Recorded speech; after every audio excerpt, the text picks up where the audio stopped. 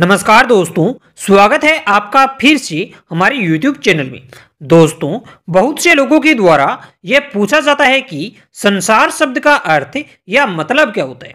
तो आज हम इस वीडियो में जानेंगे कि संसार शब्द का अर्थ या मतलब क्या होता है। या फिर यह भी कह सकते हैं कि संसार किसे कहते हैं, इसके बारे में बात करेंगे।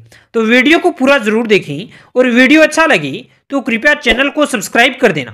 दोस्तों, सबसे पहले हम जान लेते हैं कि संसार शब्द का अर्थ या मतलब क्या होता है।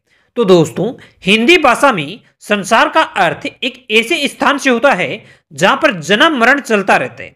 यानी वह चक्कर जिसमें जन्म मरण चलता रहता है, संसार कहा जाता है। इसके अलावा यह भी कह सकते हैं कि पूरे जग को संसार कहा जाता है।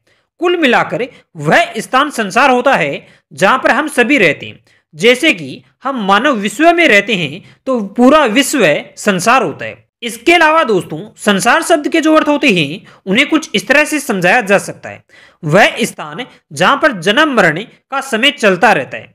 दुनिया, जगत, विश्व मृत्युलोक आदि सभी संसार शब्द के अर्थ या मतलब होते हैं। इसके अलावा दोस्तों, संसार शब्द के वाक्य प्रयोग भी कर लेते हैं, जो कुछ इस तरह से हैं। नंबर वन, आजकल संसार में पाप पुण्य का अंतर नष्ट हो रहा है। नंबर टू, संसार के इस मायावी खेल में धर्म का अंत होता जा रहा है। नंबर थ्री, वर्तमान का समय ऐसा हो गया है कि संसार में हर कोई दुखों में डूबा रहता है। नंबर फोर पाप का अंत करने के लिए अक्सर संसार में किसी देवीय शक्ति ने जन्म लिया है। तो इस तरह से दोस्तों, संसार शब्द का अर्थ होता है और संसार शब्द का वाक्य प्रयोग किया जाता है। अगर दोस्तों, वीडियो अच्छा लगा तो कृपया चैनल को सब्सक्राइब करें और ऐसे ही वीडियो समय समय पर प्राप्त करने के लिए बेल आइकन को दबा दें। अंत में कमेंट में बताएँ कि आप किस शब्द के अर्थ के बारे में जानना चाहते हैं। हम उस पर भी एक अलग से वीडियो बना देंगे।